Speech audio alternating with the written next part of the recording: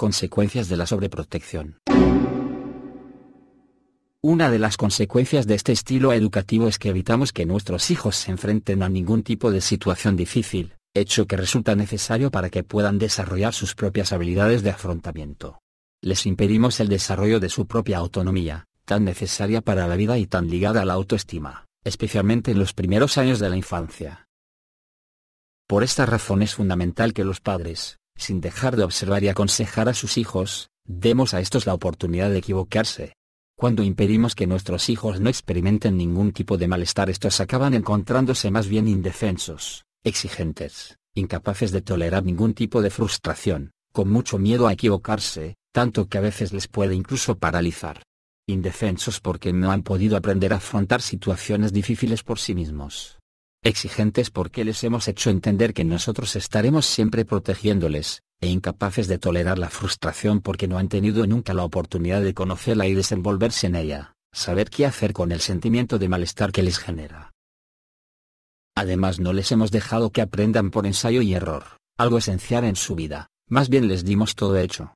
Padres que hacen los deberes todos los días con sus hijos, padres que no permiten que nadie haga la más mínima crítica a sus hijos, o que cargan las agendas de estos con actividades extraescolares para que su hijo sea bueno en todo, con la idea de tener el hijo perfecto. Esta forma de crianza también da lugar a niños miedosos porque la falta de autonomía y de recursos de afrontamiento es percibida por ellos mismos y se sienten incapaces y temerosos ante cualquier problema. Por otro lado les transmitimos que pueden conseguir inmediatamente todo lo que necesitan, resultando difícil que aprendan habilidades tan importantes para la vida como son el autocontrol, el saber esperar y posponer lo que nos gusta. Estos niños no han recibido un aprendizaje adecuado acerca de la gestión de sus emociones. De esta forma les enseñamos que las emociones negativas son indeseables y que lo mejor que pueden hacer es evitarlas, algo completamente opuesto a lo que sería una buena gestión emocional.